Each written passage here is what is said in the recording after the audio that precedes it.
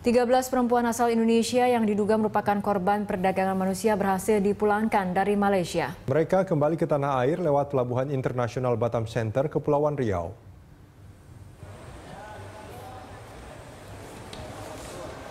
Di Malaysia, ke-13 perempuan itu mengaku disekap di sebuah hotel di wilayah Johor Bahru. Nantinya mereka akan dipersiapkan sebagai pekerja seks komersial. Dari ke-13 perempuan itu, delapan di antaranya adalah warga asal Batam, sementara sisanya berasal dari Pulau Jawa. Mereka datang ke Malaysia dengan beragam keperluan seperti hendak mengunjungi sanak saudara atau berniat menjadi buruh harian lepas.